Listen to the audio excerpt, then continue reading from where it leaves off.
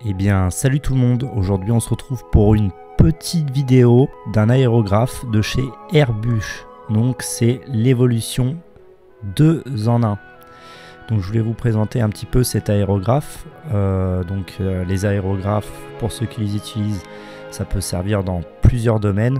Moi, je tiens à préciser que euh, je l'utilise pour de la maquette au 1.35. Donc, nous allons voir ensemble euh, de quoi est fait cet aérographe et euh, qu'est-ce que contient le coffret. Donc, dans un premier temps, nous avons euh, une petite feuille d'instruction, comme dans toutes les boîtes d'aérographe ou dans les nouveaux produits, et la notice d'utilisation.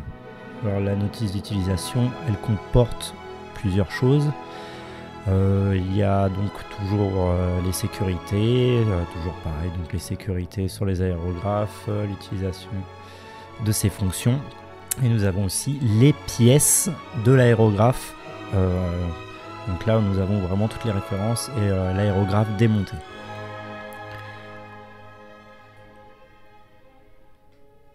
Nous avons donc là euh, l'évolution avec euh, les exemples, les démonstrations, les exercices euh, pour vous familiariser avec l'aérographe. Moi je vous conseille de vous entraîner sur, sur du papier avant.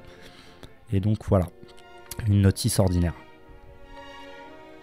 Donc maintenant nous allons passer au coffret. Donc le 2 en 1 est vendu dans un tout petit coffret ce qui est bien pratique et ça évite de laisser traîner son aérographe euh, un peu partout.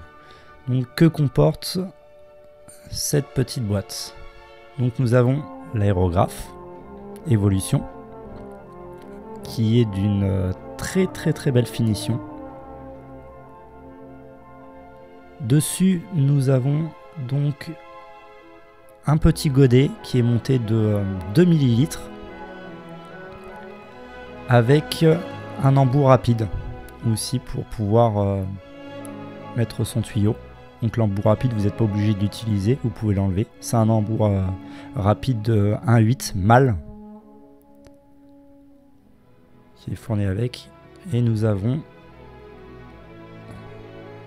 le godet de 5 ml. Donc ça c'est si vous avez des plus grandes surfaces, euh, c'est pratique. Donc voilà, ma foi, c'est un aérographe euh, assez simple. Mais euh, franchement, c'est vraiment un aérographe que je vous conseille. Il est très très pratique pour ceux qui voudraient euh, faire de la figurine et se mettre à la maquette. voilà, c'est l'aérographe qu'il vous faut. c'est un aérographe de qualité. Il faut faire attention aux petits joints et pas forcer quand vous remettez les godets. Tout, tout doit se faire avec beaucoup de délicatesse sur un aérographe, sinon vous allez flinguer tous les joints, les filetages, et euh, donc voilà.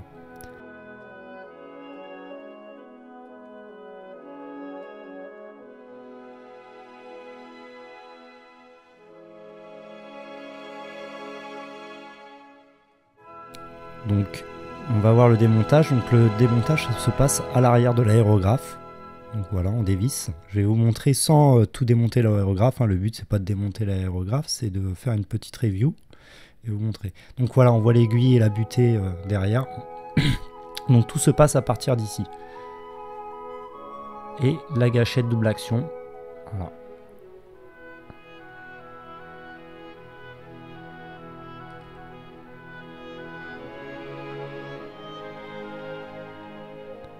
Toujours pareil, on revisse délicatement, on est embuté, et voilà.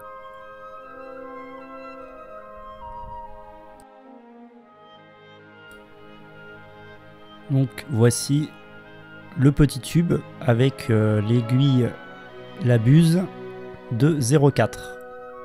Donc si vous voulez changer et faire des travaux euh, un peu plus euh, un peu plus larges, vous avez la buse de 0,4 mm et son aiguille. Donc je vais vous montrer euh, comment elle est faite. Je ne je vais pas sortir l'aiguille, mais je vais vous montrer voilà ce que consiste euh, le petit tube. Donc l'aiguille est à l'intérieur, elle est protégée. C'est très bien protégé, hein. pas de souci. Et donc voilà, c'est très délicat, mais L'aiguille de la buse est dedans, voilà. Tout petit, 0,4. Alors la 0,2 est encore plus petite, hein, celle qui a d'origine montée dessus. Avec euh, le petit joint, donc il faut faire attention aussi au joint.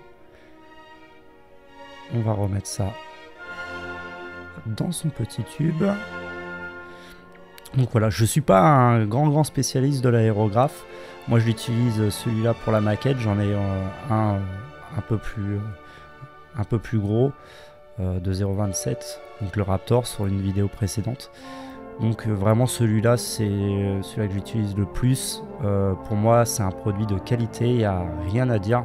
Si vous avez des commentaires à faire et si vous aussi vous utilisez ce type d'aérographe, n'hésitez pas bah, à partager et puis commenter. si je peux vous répondre, mais je vais essayer de, faire au mieux.